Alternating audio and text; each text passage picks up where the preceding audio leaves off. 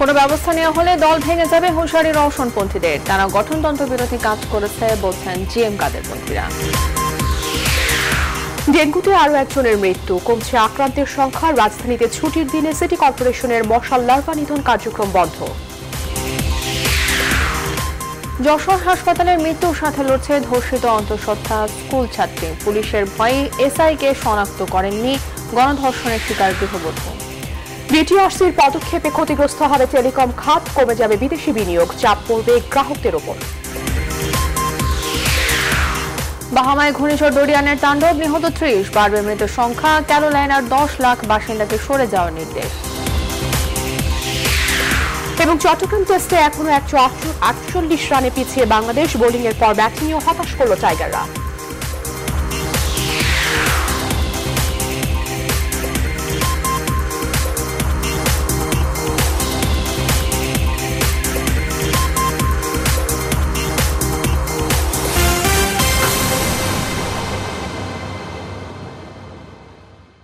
RFL ফেলে Rainbow Paints জাদুই জানে। রেইনবো পেইন্টস ছড়াও জীবনের রং। স্বাগত রাতের সংবাদে। আপনাদের সঙ্গে আছে আমি যোজনা আফরিন এবং আমি আফরিন আনোয়ার। দেখছিলেন সংবাদ শিরোনাম। এবারে বিস্তারিত।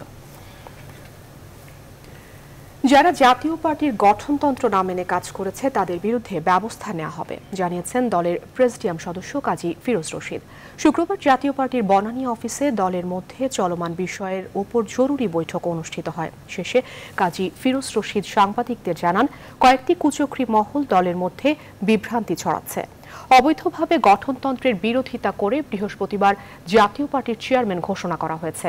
এরই মধ্যে দলের মহাসচিব সহ পনেরো জন সংসদ সদস্যের স্বাক্ষরিত চিঠি সংসদে স্পিকারের কাছে পাঠানো হয়েছে বলেও জানান কাজী ফিরোজ রশিদ।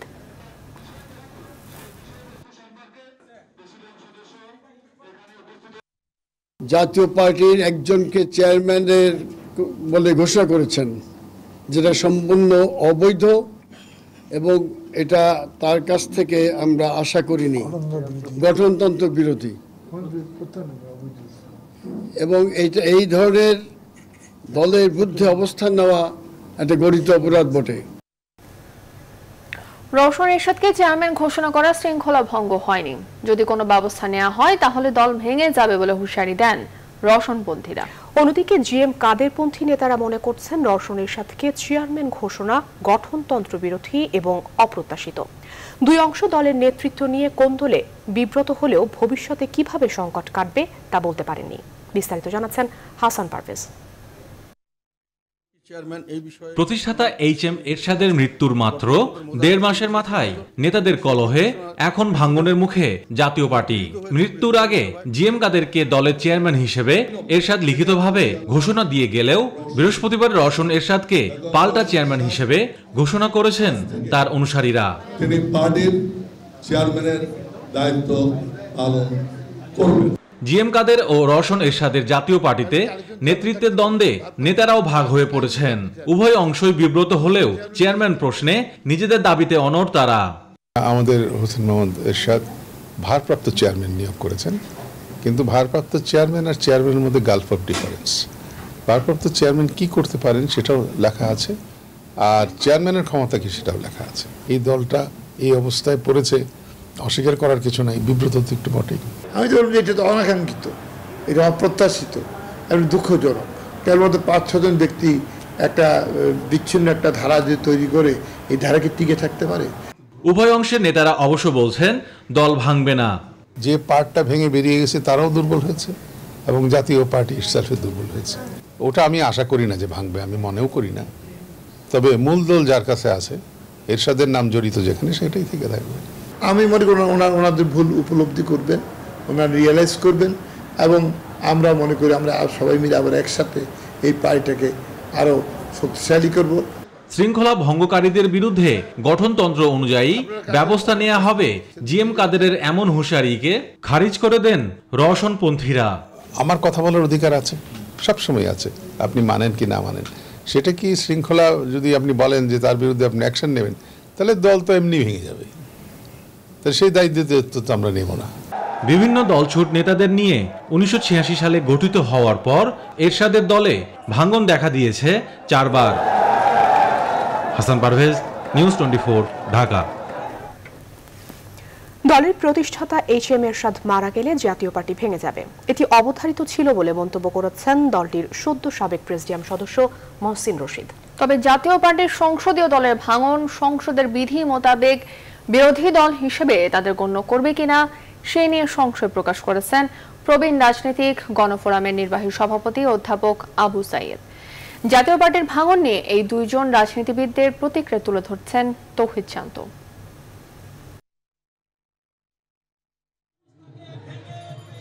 দলের প্রতিষ্ঠাতায় এইচ এম এরশাদের মৃত্যুর মাত্র নব্বই দিনের মাথায় দলে ভাঙনের সুর। দুই মেরুতে অবস্থান এখন রওশন এরশাদ এবং ভাই জি এম কাদেরের। এটি জাতীয় পার্টির বর্তমান।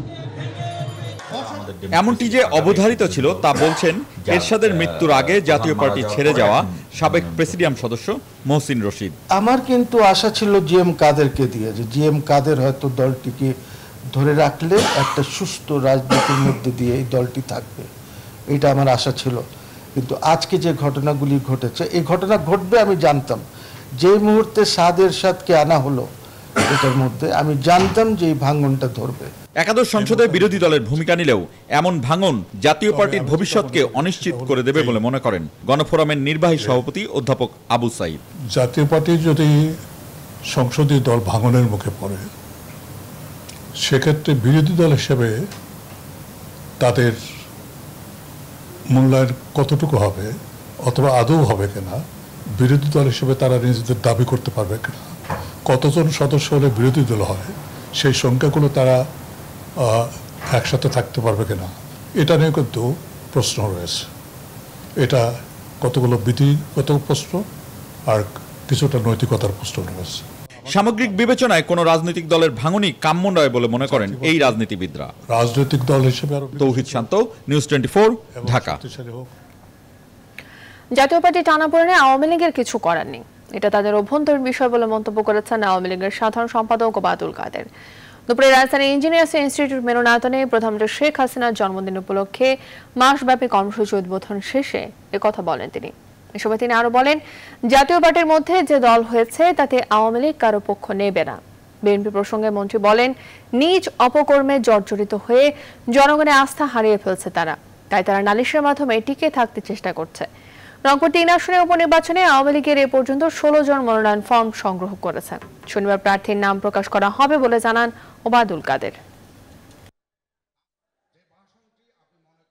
এরশাদ উত্তর জাতীয় পার্টিতে যে টানা পোড়েন চলছে, এখানে আমাদের কিছু বলার নেই।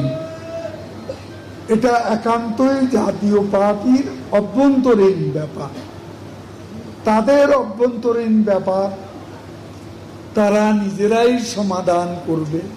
তাদের কে চেয়ারম্যান হবে, তাদের কে বিরোধী দলের নেতা হবে, এটা তারাই নির্ধারণ করবেন। এদিকে লুটপাট করে দেশের অর্থনীতির ভিত্তি ফাঁপা করে দেয়া হচ্ছে বলে অভিযোগ করেছেন বিএনপি নেতারা। জনগণের টাকা কেড়ে নিতে মহাসড়কে টোল আদায়ের ফন্দি করা হচ্ছে বলেও অভিযোগ করেন তারা। রাজধানীতে একাধিক অনুষ্ঠানে এসব কথা বলেছেন বিএনপি নেতারা। দেখুন, তহিদ শান্তর আরেকটি প্রতিবেদন। শুক্রবার ছিল সাবেক অর্থমন্ত্রী এম সাইফুর রহমানের দশম মৃত্যুবার্ষিকী। জাতীয় প্রেস ক্লাবে তার স্মরণে আয়োজিত আলোচনা সভায় যোগ দেন বিএনপি নেতারা। তুলে ধরেন, অর্থমন্ত্রী হিসেবে সাইফুর রহমানের সফলতার কথা আর এই সময়ে এই সরকারের দুর্নীতির কথা। সাঁত্রিশ লক্ষ টাকা একটা পর্দা। স্যার, আপনার স্বাস্থ্য স্বাস্থ্য মন্ত্রণালয়ে, এক হাসপাতালে। দুজনই, উনিও ছিলেন তো, উনিও ছিলেন। ফরিদপুরে। সাঁত্রিশ টাকা বারিশ দিয়ে হেরে গেছে। বারিশ পর্দার কাছে হেরে গেছে তো। এই হচ্ছে অবস্থাটা এখন। চতুর্দিকে শুধু লুট লুটে নাও। এই অবস্থা চলছে এখন বাংলাদেশে। এদিন সকালে দলটির সিনিয়র যুগ্ম মহাসচিব রুহুল কবির রিজভি অভিযোগ করেন মহাসড়কে টোল আদায় হলে তার মাসুল গুনতে হবে জনগণকে। দলের নয়াপল্টন কার্যালয়ের সংবাদ সম্মেলনে এই অভিযোগ করেন তিনি। বন্ধুরা এমনিতে বাস ভাড়া অনেক বেশি। সড়কে টোল আদায় করলে বাস ভাড়া আরও বাড়বে। সরকারের নির্ধারিত ভাড়া পরিবহন মালিকরা নেন না। তারা অনেক বেশি টাকা নেন এখন টোলের টাকাও যাত্রীদের কাছ থেকে উঠানো হবে। এই টোলের ফলে যাত্রীদের অর্থ অপচয় হবে সময় অপচয় হবে ফলে যাত্রীরা ক্ষতিগ্রস্ত হবে। এর আগে জাতীয় প্রেস ক্লাবে নাগরিক ফোরাম আয়োজিত মানববন্ধনে যোগ দেন বিএনপি চেয়ারপারসনের উপদেষ্টা জয়নুল আবেদিন ফারুক। দেশের গণতন্ত্রের পথকে সুগম করতে খালেদা জিয়াকে দ্রুত মুক্তি দেওয়ার জন্য সরকারের প্রতি আহ্বান জানান তিনি। শুধু গাড়ি ভাঙলেই বেগম চেয়ার মুক্তি হবে না গাড়ি তো আমরা ভাঙি না। আমাদের মিছিলে আপনারা লোক ঢুকায় গাড়ি ভাঙে আমাদের বিরুদ্ধে মামলা দেন। আমরা সবই বুঝি আমরা নিমতলাও চিনি কালীতলাও চিনি কিন্তু সরকারি যন্ত্রের কারণে আজকে আমরা নীরব। Tauhid Shanto news twenty Dhaka. Dengue রোগে আক্রান্ত চট্টগ্রামে আরও একজনের মৃত্যু হয়েছে তবে সারা দেশে কমেছে আক্রান্তের সংখ্যা। স্বাস্থ্য অধিদপ্তর হিসেবে গত চব্বিশ ঘন্টায় সারা দেশে সাতশো তিরানব্বই জন ডেঙ্গু আক্রান্ত হয়েছেন। এদিকে শুক্রবার ছুটির দিন হওয়ায় মশাল লার্ভা নিধন কার্যক্রম বন্ধ রেখেছে ঢাকার দুই সিটি কর্পোরেশন। এ নিয়ে ক্ষোভ প্রকাশ করেছে বাসিন্দারা। অন্তরা বিশ্বাসের প্রতিবেদনে বিস্তারিত। ফয়সাল ডেঙ্গু আক্রান্ত গত দশ দিন ধরে। পাঁচ দিন ধরে সে ঢাকার সোহরাওয়ার্দী হাসপাতালে ভর্তি। এর আগে নিজ জেলা কিশোরগঞ্জের হাসপাতালে চিকিৎসা নেন তিনি। এরই মধ্যে খরচ হয়েছে বিশ হাজার টাকা। তার মা স্বপ্না অন্যের বাড়িতে কাজ করেন। এখানে টাকা পয়সা, ধরেন অনেক টাকা পয়সা গেছে খাবার খাওয়ার লাগে।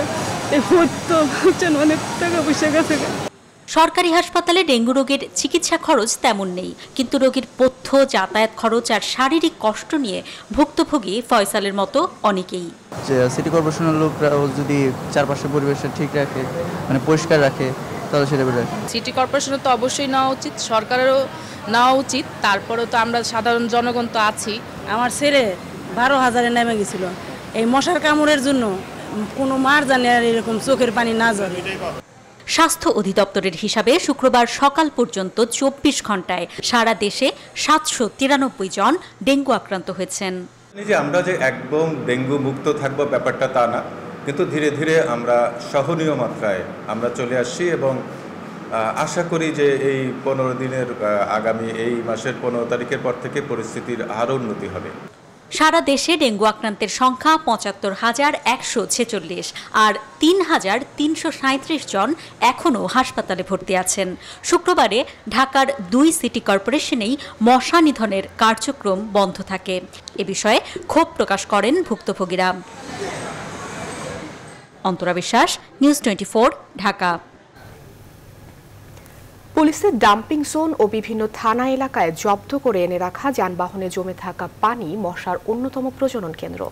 সরজমিনে ঘুরে তারই প্রমাণ মিলল নিউজ টোয়েন্টি এর ক্যামেরায়। পুলিশ বলছে সউদ্যোগে মশক নিধনে ব্যবস্থা নিলেও আশানুরূপ সহযোগিতা মেলেনি সিটি কর্পোরেশনের পক্ষ থেকে।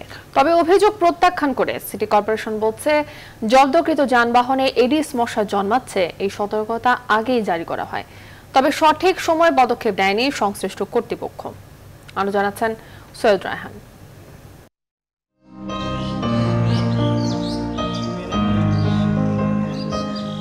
এই চিত্র রাজধানীর রমনার পুলিশ ডাম্পিং জোনের। জব্দকৃত যানবাহনে জমে থাকা পানি এখন মশার অন্যতম প্রজনন কেন্দ্র। একই অবস্থা মামলার আলামত হিসেবে থানায় জব্দকৃত যানবাহনগুলোরও, যেখানে অস্তিত্ব মিলছে এডিস মশার লার্ভার। চারিদিকে যখন ডেঙ্গু সচেতনতার পাশাপাশি মশক নিধনে চলছে সারাশি অভিযান, তখন কীভাবে জব্দকৃত এসব যানবাহন হয়ে উঠল মশার অভয়ারণ্য এমন প্রশ্ন ছিল সংশ্লিষ্ট পুলিশ কর্মকর্তার কাছে। আমার কাছে যে নাম্বারগুলো আছে সিটি কর্পোরেশনে, তাদেরকে কল দিছি। আমি মনে হয় পাঁচ সাতবার কল দেওয়ার পরে একবার আসছে। কিন্তু তারা ব্যক্তিগতভাবে যে এলাকাগুলো পরিষ্কার করতে হবে, এরকম কোনো পদক্ষেপ আমি দেখি নেই। এ বিষয়ে জানতে চাইলে সিটি কর্পোরেশনের প্রধান স্বাস্থ্য কর্মকর্তা জানান, পুলিশের আটককৃত যানবাহনে এডিস মশার লার্ভার অস্তিত্ব পাওয়ায় আগেই সতর্ক করা হয়েছিল সংশ্লিষ্ট কর্তৃপক্ষকে। আর জনবল অপ্রতুল হওয়ায় প্রতিনিয়ত মনিটরিং করা সম্ভব হয় না বলেও জানান তিনি। আমরা যখন জানলাম যে বাস টার্মিনাল, থানাগুলিতে জব্দকৃত গাড়িগুলি এলাকা, এই সমস্ত জায়গাতে লার্ভার সংখ্যা ঘনত্ব বেশি। আমি আমার টিমকে পাঠিয়েছি, তারা সেখানে গেছে এবং কাজ করছে। তো ওনাদের দায়িত্ব আমরা চিঠি দিয়ে বলেছি, মৌখিকভাবে বলেছি যে এই জায়গাগুলিতে এডিসির প্রজনন স্থল যেন না হয়।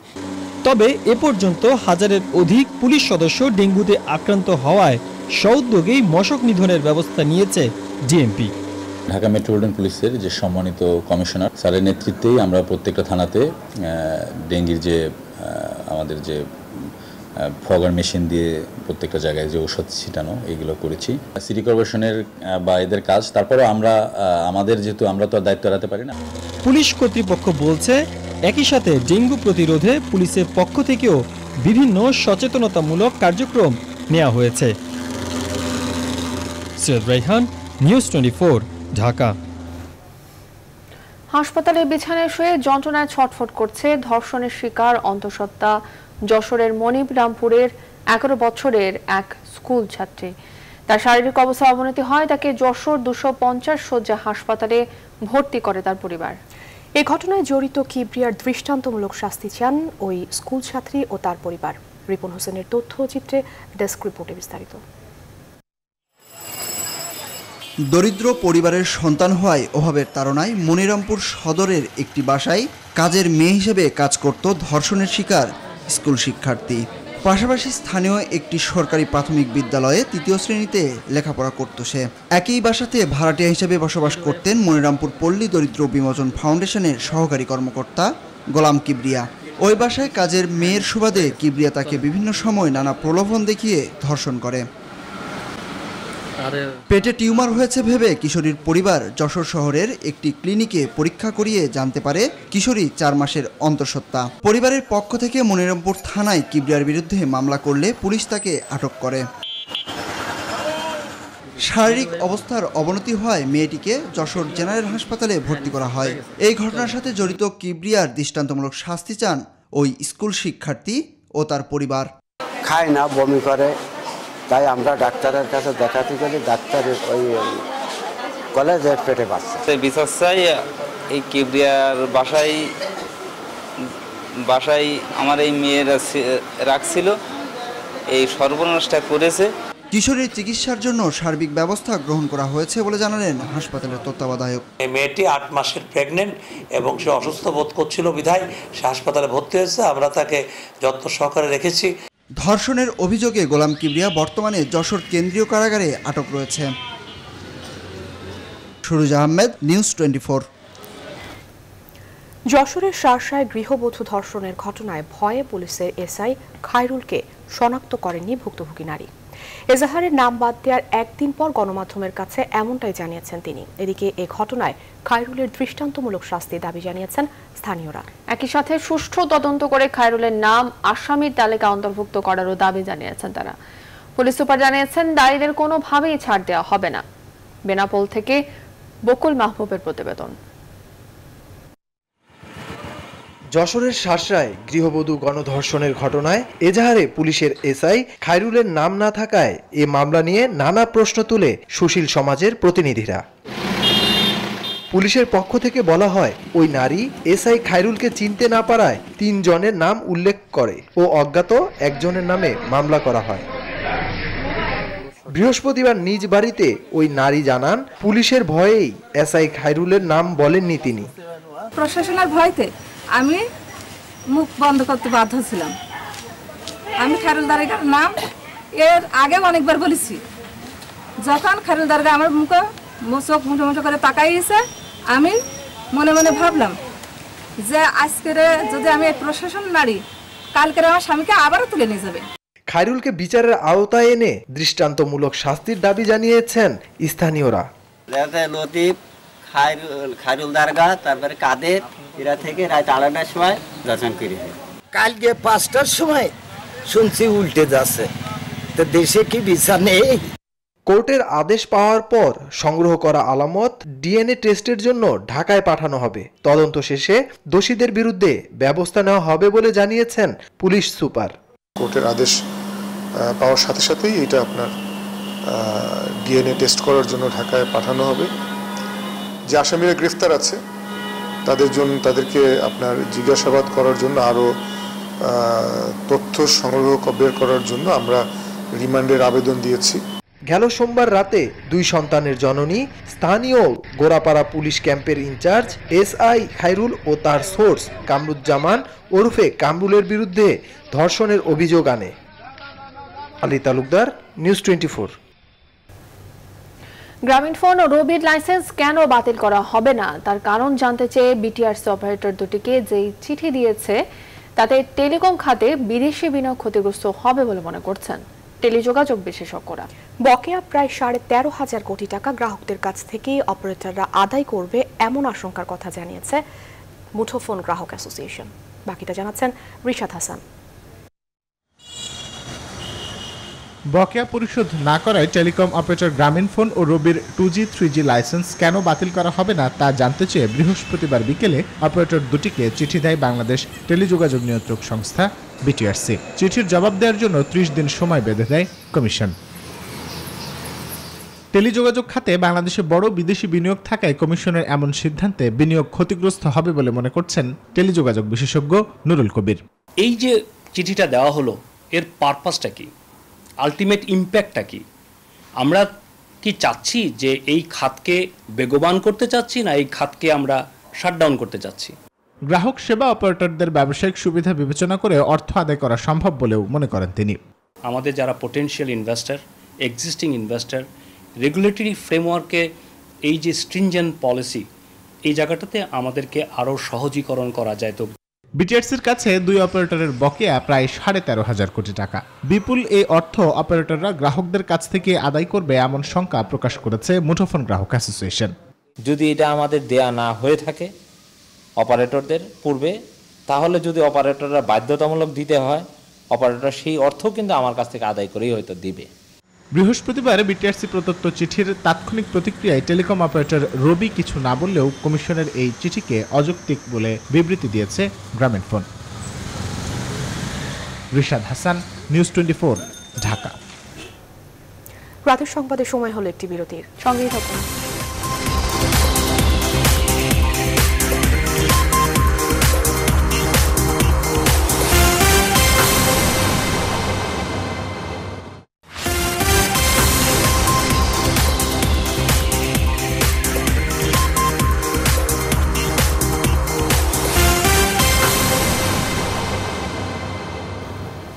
বিরতির পর আবারও স্বাগত। দেখছেন নিউজ ফোর রাতের সংবাদ। জমি বা ফ্ল্যাট কিনেছেন অথচ রেজিস্ট্রেশন করছেন না ক্রেতারা। চলতি বাজেটে সম্পত্তি হস্তান্তর সংক্রান্ত দলিলের নিবন্ধন খরচ চার শতাংশ কমানোর কথা থাকলেও সরকারি প্রজ্ঞাপন জারি না করায় তা কার্যকর হয়নি এখনও। ফলে অপেক্ষায় আছেন হাজারো ক্রেতা। রিহাব বলছে দ্রুত প্রজ্ঞাপন জারি না করায় বিপুল রাজস্ব হারাচ্ছে সরকার। এ বিষয়ে এনবিআর ও অর্থ মন্ত্রণালয়ের সুপারিশের পর আইন মন্ত্রণালয়ের কোনো আপত্তি নেই বলে জানিয়েছেন আইনমন্ত্রী আনিসুল হক। বিস্তারিত জানাচ্ছেন বাবু কামরুজ্জামান। নগরীতে গড়ে উঠছে নতুন নতুন আবাসন প্রকল্প। বাড়ছে ফ্ল্যাট ও প্লটের চাহিদাও, তবে সম্পত্তি কেনাবেচার বিপরীতে বাড়ছে না কাঙ্ক্ষিত নিবন্ধনের পরিমাণ। ফ্ল্যাট ও প্লট ক্রয়ের বিপরীতে এখন নিবন্ধন ফি দিতে হয় চোদ্দ শতাংশ পর্যন্ত। দক্ষিণ এশিয়ার অন্য দেশগুলোর তুলনায় যা প্রায় দ্বিগুণ। রেজিস্ট্রেশন খরচ কমিয়ে ক্রেতাদের স্বস্তি দিতে চলতি বাজেটে ঘোষণা দেয়া হয় তা কমানোর। এরই মধ্যে এনবিআর ও অর্থ মন্ত্রণালয়ের চিঠিতে যার অনুমোদনও দেয়া হয়েছে। এই সিদ্ধান্ত বাস্তবায়ন হলে চার শতাংশ কমবে সম্পত্তির নিবন্ধন খরচ। তবে বাজেট ঘোষণার দুই মাস পেরিয়ে গেলেও এখনও প্রজ্ঞাপন জারি না হওয়ায় ফ্ল্যাট বা প্লট কেনাবেচায় নিবন্ধনে আগ্রহ নেই ক্রেতাদের। এটা বাস্তবায়িত করার আগ পর্যন্ত না না করলে জমি রেস্টই বাড়বে না। অনেকে দেখা গেছে জমি কিনে ফালাইতেছে। ফালাইতে আবার আরেক পার্টি খুঁজতেছে বিক্রি করার জন্য। দেখা গেছে রেজিস্ট্রেশন করতেছে না। কেন্দ্রীয় রেজিস্ট্রেশন কমপ্লেক্সের দলিল লেখকরা বলছেন বাজেটে ফ্ল্যাট এবং প্লটের রেজিস্ট্রেশন খরচ কমানোর কথা থাকলেও সেটির কার্যকর বাস্তবায়ন না হয়। দলিল নিবন্ধনের পরিমাণ আগের তুলনায় অনেকটা কমেছে। এমনকি পুরনো অনেক ফাইল জমে আছে ফলে বিপুল রাজস্ব হারাচ্ছে সরকার। রেজিস্ট্রেশন কমে গেছে। তিন চার পার্সেন্ট কমবে সেখানে সবাই আশায় থাকবে বিশ বিশ লাখ টাকা তিরিশ লাখ পঞ্চাশ লাখ এক কোটি টাকা একটা ফ্ল্যাট কিনলে অনেক টাকা বাঁচবে সেই আশায় ছিল সবাই আসলে কমে নেই। আবাসন খাতের সংগঠন রিহেবের হিসাবে নিবন্ধনের অপেক্ষায় আছে অন্তত পাঁচ থেকে ছয় হাজার ফ্ল্যাট। সংশ্লিষ্টরা বলছেন প্রজ্ঞাপন জারি না হওয়ায় এ খাতে বাড়ছে বিনিয়োগ ঝুঁকি। অনেক প্রজেক্ট কমপ্লিট হয়ে গিয়েছে। আমরা ফ্ল্যাট ওনারকে আমরা বুঝিয়েও দিয়েছি তারা আগে উঠে যাচ্ছে কিন্তু তারা নিবন্ধন করছে না। আমার যেই ক্লায়েন্ট গ্রাহক যে কোনো একজনের যদি মৃত্যু হয় তাহলে পুরো ইনভেস্টটা কিন্তু ঝুঁকিতে পড়ে যায়। রিহ্যাব নেতারা বলছেন দ্রুত প্রজ্ঞাপন জারি করে এর বাস্তবায়ন করা হলে সরকারের রাজস্ব যেমন বাড়বে তেমনি ঘুরে দাঁড়াবে আবাসন খাত। এখন যদি এসআরওটা জারি হয় অনেক হাজার হাজার ক্রেতা অপেক্ষামান আছে এটা রেজিস্ট্রি করে নিবে। আমাদের দাবি হলো দ্রুত এই এসআরওটা জারি করা হোক এবং সরকার তার রাজস্ব পাক। ইতিমধ্যেই কিন্তু আহ, এটা নিয়ে কাজ হচ্ছে। কিন্তু কাজটা একটু ধীর গতিতে হওয়ার ফলে কিন্তু অনেক গ্রাহক রেজিস্ট্রেশন না করাতে গভর্নমেন্টের কিন্তু রাজস্ব কমে যাচ্ছে। এ বিষয়ে আইনমন্ত্রী টেলিফোনে জানান এই সিদ্ধান্ত বাস্তবায়নে আইন মন্ত্রণালয়ের কোনো আপত্তি নেই। আমাদের কোনো আপত্তি তো নাই। শিগগিরই এটা বাস্তবায়ন হবে। হ্যাঁ হ্যাঁ। রিহেবের হিসেবে আবাসন খাতে পাঁচ থেকে সাত শতাংশ বিক্রি বেড়েছে। নিবন্ধন ব্যয় কমানো হলে এ খাত আরও চাঙ্গা হবে বলে মনে করছেন ব্যবসায়ীরা। Babu Kamruzzaman, news twenty Dhaka. Dhaka বিশ্ববিদ্যালয়ের সমাজ বিজ্ঞান অনুষদে ক্রিমিনোলজি ও ক্রিমিনাল জাস্টিস বিষয়ে মাস্টার্স প্রোগ্রামে ষষ্ঠ ব্যাচের নবীনবরণ অনুষ্ঠান হয়েছে। শুক্রবার বিকেলে ঢাকা বিশ্ববিদ্যালয়ের মুজাফর আহমেদ চৌধুরী অডিটোরিয়ামে এই অনুষ্ঠানের আয়োজন করা হয়। এ সময় নবীনদের বরণ করে নেয়ার পাশাপাশি প্রথম ব্যাচের শিক্ষার্থীদের বিদায় জানানো হয়। অনুষ্ঠানের প্রধান অতিথি ছিলেন association of private universities of বাংলাদেশের চেয়ারম্যান শেখ কবির হোসেন। বিশেষ অতিথি ছিলেন ইউনিভার্সিটি গ্র্যান্টস কমিশন ইউজিসির সদস্য ডক্টর এম শাহ নেওয়াজ আলী। অনুষ্ঠানে সম্মানিত অতিথি হিসেবে উপস্থিত ছিলেন সমাজ বিজ্ঞান অনুষদের ডিন ডক্টর সাদেকা হালিম পুরো অনুষ্ঠানে সভাপতিত্ব করেন অপরাধ বিজ্ঞান বিভাগের চেয়ারপারসন অধ্যাপক ডক্টর জিয়া রহমান।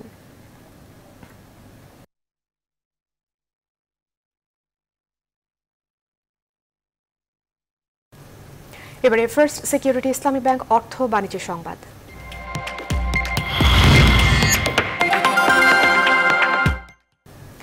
রাজধানীর ইন্টারন্যাশনাল কনভেনশন সিটি বসুন্ধরায় শনিবার শেষ হচ্ছে টেক্সটাইল খাতের আন্তর্জাতিক প্রদর্শনী, টেক্সটেক টু এবারের আয়োজনে বিশ্বের প্রায় পঁচিশটি দেশের সাড়ে বারোশো প্রতিষ্ঠান অংশ নিয়েছে। শুক্রবার ছুটির দিন হওয়ায় দর্শনার্থীদের সংখ্যা ছিল অন্য দিনগুলোর চেয়ে অনেক বেশি। প্রদর্শনীতে টেক্সটাইল খাতের সর্বশেষ আধুনিক প্রযুক্তি, পণ্য, সুতা, কাপড়ের সুবিশাল সমাহার নিয়ে অংশ নিয়েছে প্রতিষ্ঠানগুলো। বাংলাদেশের পোশাক খাতের বিক্রেতা পেতে প্রদর্শনী অবদান রাখছে, এমনটা জানিয়েছেন অংশগ্রহণকারীরা।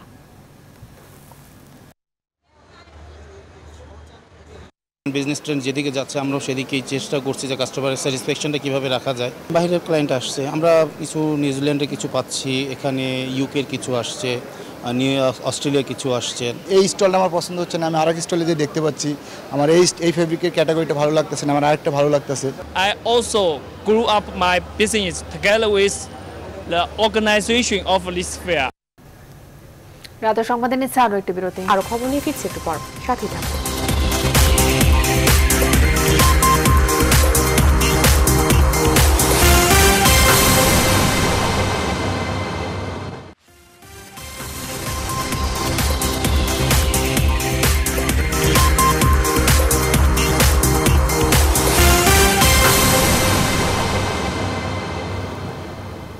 আবারও স্বাগত রাতের সংবাদে।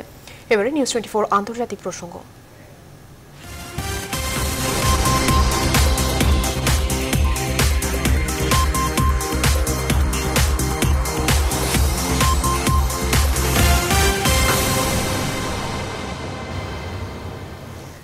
বাহমায় ঘূর্ণিঝড় ডরিয়ান তাণ্ডবে নিহতের সংখ্যা বেড়ে দাঁড়িয়েছে ত্রিশ জনে। এই সংখ্যা কয়েকশো ছাড়াতে পারে বলে আশঙ্কা করা হচ্ছে। এদিকে ডরিয়ান এখন উত্তর ও দক্ষিণ ক্যারোলাইনার ওপর দিয়ে বয়ে যাচ্ছে। ঘন্টায় এর গতিবেগ একশো পঁয়ষট্টি কিলোমিটার। বাতাসের তীব্রতার সাথে সাথে সেখানে বৃষ্টি হচ্ছে প্রবল বেগে। ভারী বৃষ্টিপাতের ফলে চার্লস্টন সহ বেশ কিছু নিচু অঞ্চলে বন্যার সৃষ্টি হয়েছে। ঘূর্ণিঝড়ের প্রভাব থেকে বাঁচতে ওই অঞ্চলের প্রায় দশ লাখ বাসিন্দাকে নিরাপদ স্থানে সরে যাবার নির্দেশ দিয়েছে কর্তৃপক্ষ।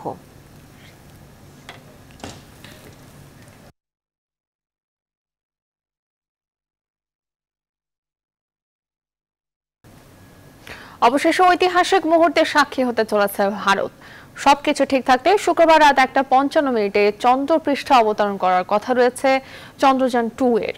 এরই মধ্যে চাঁদে অবতরণকারী যান বিক্রম মূল মহাকাশ যান থেকে নিজেকে পৃথক করে নিয়ে চাঁদের চারপাশে প্রদক্ষিণ করছে।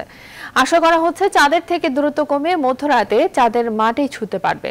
ভারতের মহাকাশ গবেষণা সংস্থা ইসরো জানিয়েছে, অবতরণের পর রোভার প্রজ্ঞান সকাল সাড়ে পাঁচটা থেকে সাড়ে ছয়টার মধ্যে চাঁদের ল্যান্ডার থেকে বেরিয়ে আসবে এবং চাঁদের উৎস সম্বন্ধে বিশদ বিবরণ, উপগ্রহে জলের উপস্থিতি সহ বিভিন্ন বিষয়ের উপর ছবি তুলে গবেষণা শুরু করবে। বিপুল আগ্রহ নিয়ে অপেক্ষমান গোটা ভারতবাসীর সঙ্গে এই ইতিহাসের সাক্ষী হতে স্কুল শিক্ষার্থীদের সঙ্গে নিয়ে ইসরো থেকে লাইভে চন্দ্রযান টু এর অবতরণ দেখবেন প্রধানমন্ত্রী নরেন্দ্র মোদী।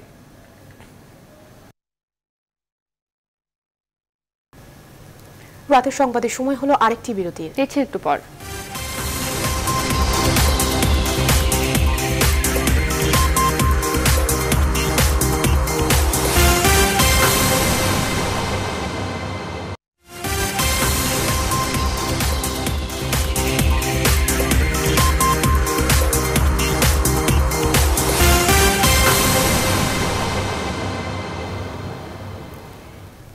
বিরতির পর আবারও স্বাগত। দেখছেন রাতের সংবাদ। এবারে নেস্টন for sports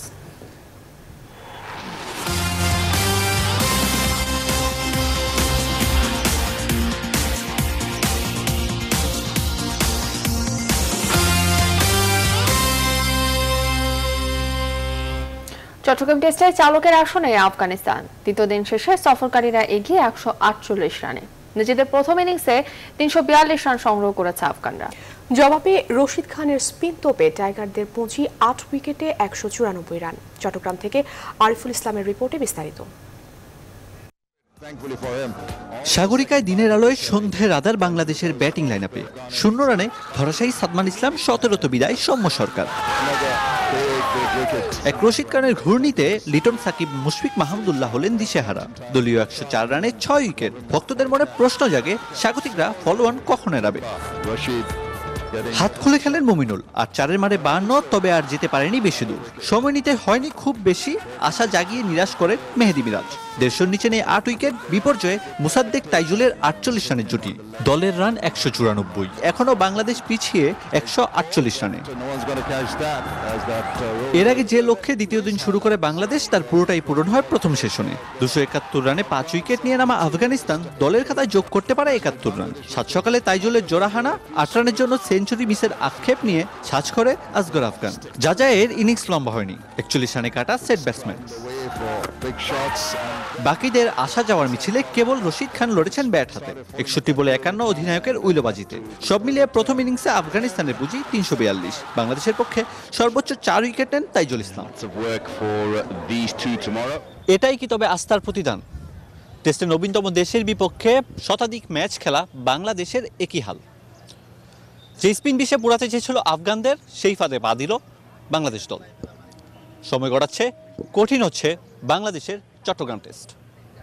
Ariful Islam, news twenty four, Chattogram. শেষ করব রাতের সংবাদ। তার আগে শিরোনামগুলো জানাব আরেকবার।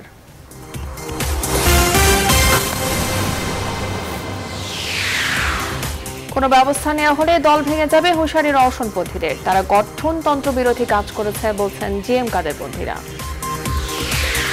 ডেঙ্গুতে আরও একজনের মৃত্যু, কমছে আক্রান্তের সংখ্যা। রাজধানীতে ছুটির দিনে সিটি কর্পোরেশনের মশাল লার্ভা নিধন কার্যক্রম বন্ধ। যশোর হাসপাতালে মৃত্যুর সাথে লড়ছে ধর্ষিত অন্তঃসত্ত্বা স্কুল ছাত্রী। পুলিশের ভয়ে এসআইকে শনাক্ত করেনি গণধর্ষণের শিকার গৃহবধূ। বিটিআরসির পদক্ষেপে ক্ষতিগ্রস্ত হবে টেলিকম খাত, কমে যাবে বিদেশি বিনিয়োগ, চাপ পড়বে গ্রাহকদের ওপর। বাহামায় ঘূর্ণিঝড় ডোরিয়ানের তাণ্ডব, নিহত ত্রিশ। বাড়বে মৃতের সংখ্যা। ক্যারোলাইনার দশ লাখ বাসিন্দাদেরকে সরে যাওয়ার নির্দেশ। এবং চট্টগ্রাম টেস্টে এখনও একশো আটচল্লিশ রানে পিছিয়ে বাংলাদেশ। বোলিংয়ের পর ব্যাটিংয়েও হতাশ করল টাইগাররা।